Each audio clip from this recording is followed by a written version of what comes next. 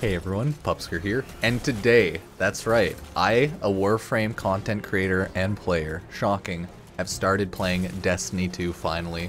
In preparation and, you know, I guess hype of Lightfall release, I decided, hey, I'll pick up the game and start playing it, and I'll play through Lightfall whenever I can.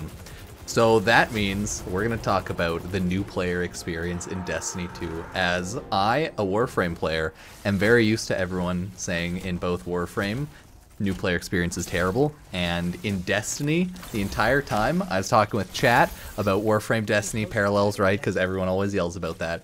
How terrible is the Destiny 2 new player experience? Is it better, worse than Warframe?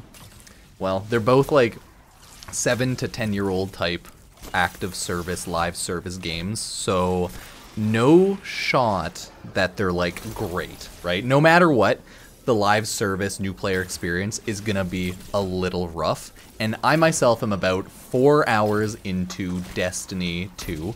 I completed like the new whatever, the new way, the new light. Your first initial tutorial questing for the first, yeah, I guess unlock of everything, okay? I completed that I have my build set up, I guess. I have weapons. I can go do more quests. I have the uh, entire open world areas unlocked, the tower, what have you.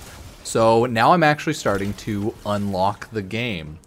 And the new player experience is pretty much exactly what I expected it, it to be. The first four hours is literally tutorial quests to get you used to shooting your gun, using the navigation, the different systems, weapons, abilities in the game. And so far, like four hours in doing the tutorial quest stuff, you just kind of like touch the surface in the like, uh, what is it, like Cosmodrome, whatever that area is called.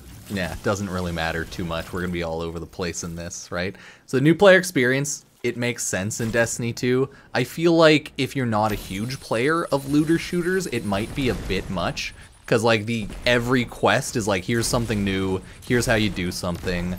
Uh, it just feels like you're running quests just to run quest for ages and now that I've done the tutorial and the world's opened up to me I have no idea where I like need to go or anything. There's stuff everywhere.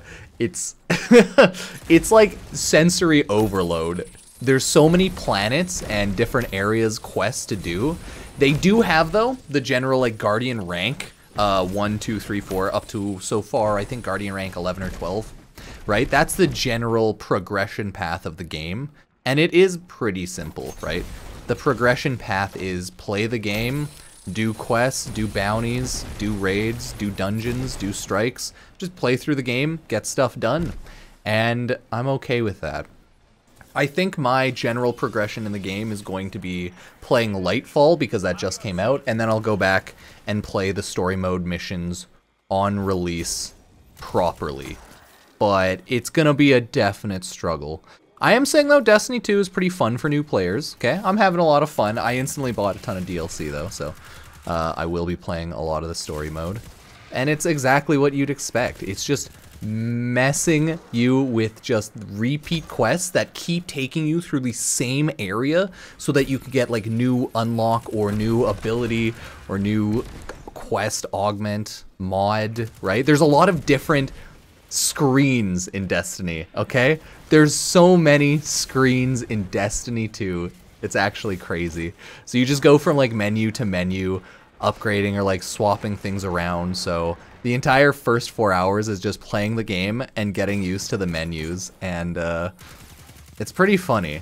I'm getting used to it, getting used to the controls. It's not that bad, and we'll see how Lightfall goes, but as of right now, I would say Destiny 2 is fun. It's good for new players, but the new player experience as always with any live service MMO type game, sensory overload. I'm used to it because I've played a ton of it, but for new players, yeah, there's just so much shit everywhere.